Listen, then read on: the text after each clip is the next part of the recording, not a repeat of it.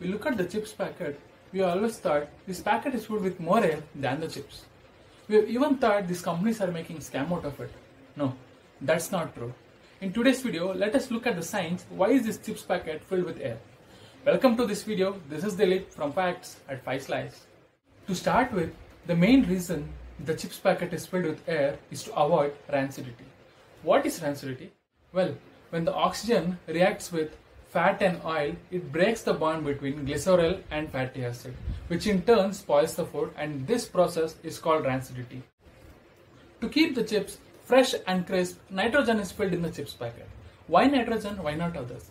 Because nitrogen does not react with oil and fat. It drives out the oxygen and it does not allow the bacterial growth in it.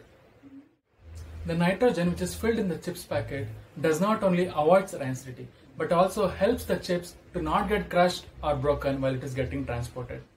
It is estimated that in a study of 14 different brands of chips, an average of 43% of the packet is filled with nitrogen gas. Next time when you're picking chips of your choice, make sure the packet is filled with air. If it is punctured, there are chances the chips is getting old or it's in a process of becoming stale.